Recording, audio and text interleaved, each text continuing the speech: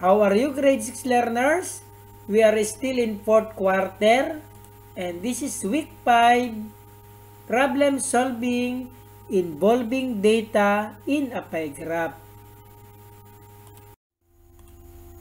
After going through this lesson, you are expected to solve routine and non-routine problems using data presented in a pie graph.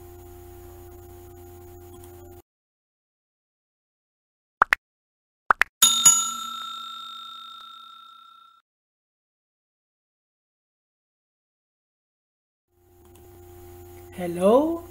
Last time, we learned about constructing a pie graph. For this lesson, we learn how to solve the routine and non-routine problems using data presented in a pie graph. Let us study the pie graph below using the data presented. Mr. Reyes, a school principal, conducted a survey on where pupils would most like to go on a field trip. The choices he gave them were Museo Pambata, National Museum, Oceanarium, Science Centrum, and Abilon Zoo. All 360 pupils cast one vote each. Using this table, the destinations are Abilon Zoo, Oceanarium, Science Centrum, Museo Pambata, National Museum. Number of pupils in Abilon Zoo, 90. Oceanarium, 180. Science Centrum, 36. 45 for Museo Pambata and National Museum 9. The total of 360. Angle sector. How to get angle sector? Frequency of data divided by total frequency times 100. Example for Abilon Zoo. So 90 pupils divided by 360 number of pupils times 100 equals 25%. So for a balloon zoo, 1-fourth or 25%. For oceanarium, 180 divided by 360 times 100 equals 50% or 1 half. For oceanarium, 110 or 10%. For Museo Pambata, 45 divided by 360 times 100 and that is 1/8 or 12.5%. For National Museum, 9 divided by 360 times 100 and that is 1 over 40 or 2.5% with a total of 100%. Now, let us answer some questions. Number 1. Which field trip destination got the highest percentage of votes? The answer is Oceanarium. Got the highest percentage vote which is 50% of the total pupils based on the data presented. Number 2. What percentage of pupils favor Avalon Zoo? To calculate the percentage, one-fourth of 100%. So, 1 fourth times 100%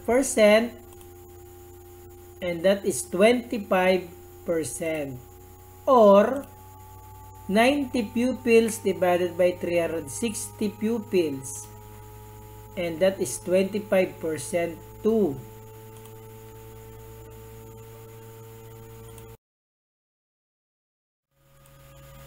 Number 3. How many times as many pupils like to go to Oceanarium compared to those who like to go to Avalon Zoo? Here's the answer. Get both data of pupils favored to go to Oceanarium and that is one half. And pupils like to go to Avalon Zoo and that is one fourth.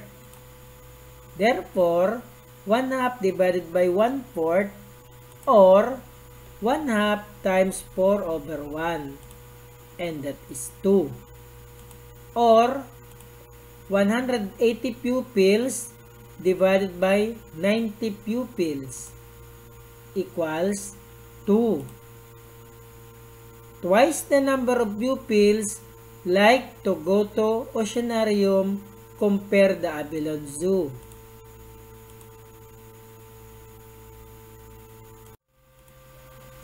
Number 4.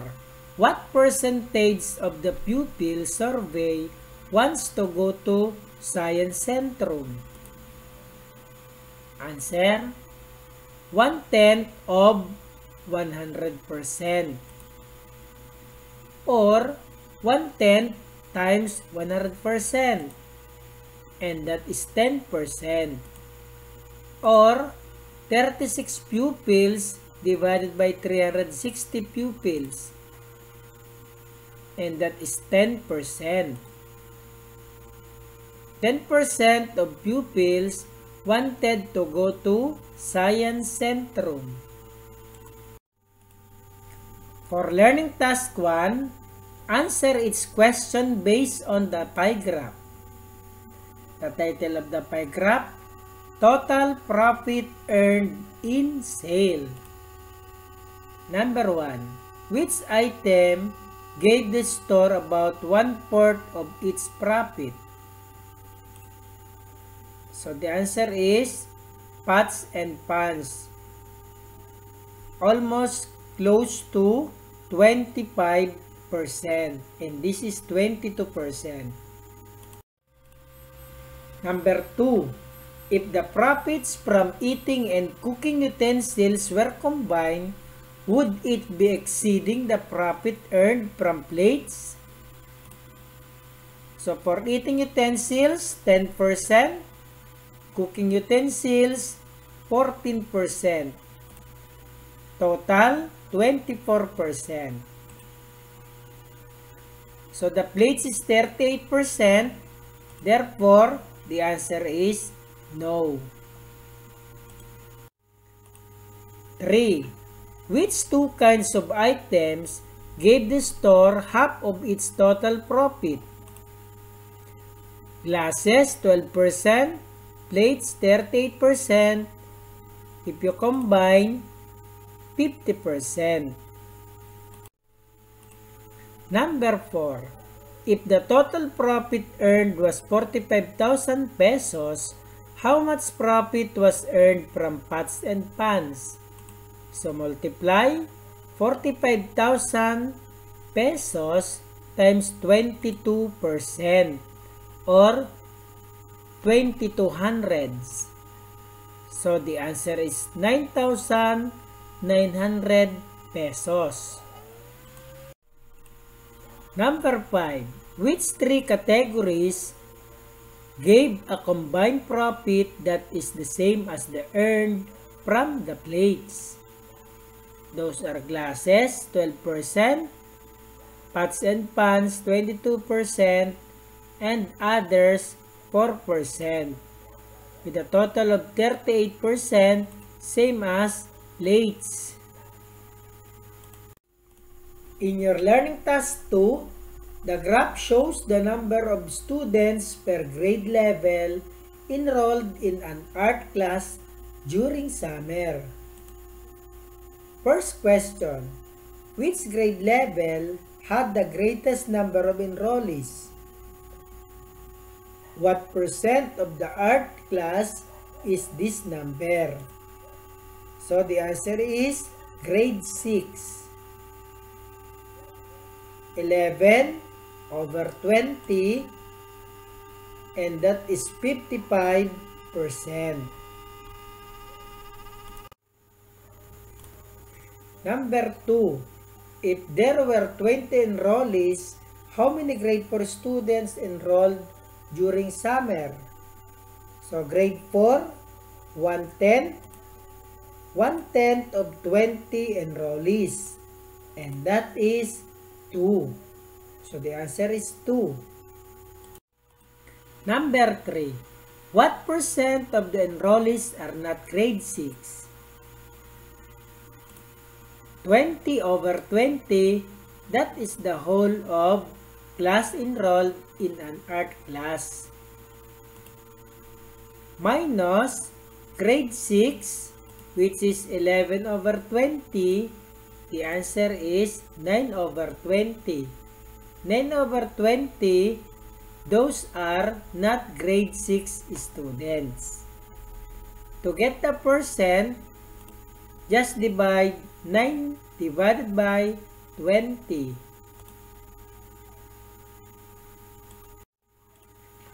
Can you answer number 4? Which two grade levels comprise one-fourth of the total number of enrollees?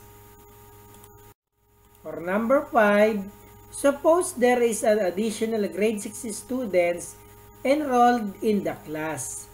What will happen to each sector in the graph? What will happen to the sectors for other grade levels. For your learning task 3, a school organized a fair through which it collected a sum of 5,880 pesos, where games collected one-fourth of the total amount. The pie graph shows the amount of money collected by different stalls. Find the sum of money collected by the games stall. So, one fourth of 5,880 pesos. And that is 1,470 pesos. Number 2. What percentage of the total money was collected by the souvenir stall. Remember, in games, that is 1,470 pesos. So, games, food, and drinks. In games, 1,470 pesos plus food, 2,352 pesos plus drinks, 882 pesos with a total of 4,704 pesos. Then, 5,880 pesos minus 4,704 pesos. And that is 1,176 pesos. Then 1,176 pesos divided by 8,880 pesos times 100. The answer is 20%. Number 3. What fraction of the total money was collected by the food stall? So, food stall, 2,352 pesos divided by 5,880 pesos that is 0.4 in fraction that is 4 tenths. And the lowest term is 2 pips. Try to answer number 4 what fraction of the total money collected by the drink stall?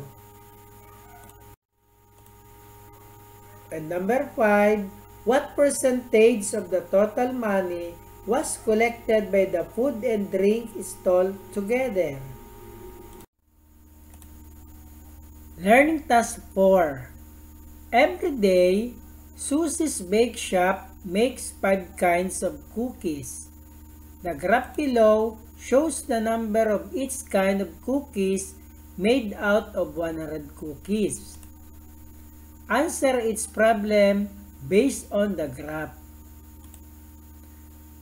Number 1. Which two kinds of cookies make up of 50% of all the cookies? Then explain your answer. Number 2. Suppose the bake shop will make 500 cookies using the given ratio for the 5 kinds of cookies. How many chocolate chips will the bake shop make? Okay, the first ratio, 35 is to 100. And the second ratio is blank is to 500.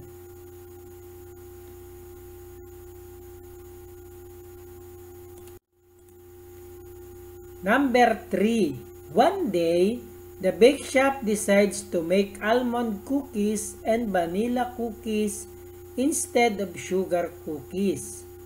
If the number of almond cookies and number of vanilla cookies are the same, what percent of all the cookies are vanilla cookies?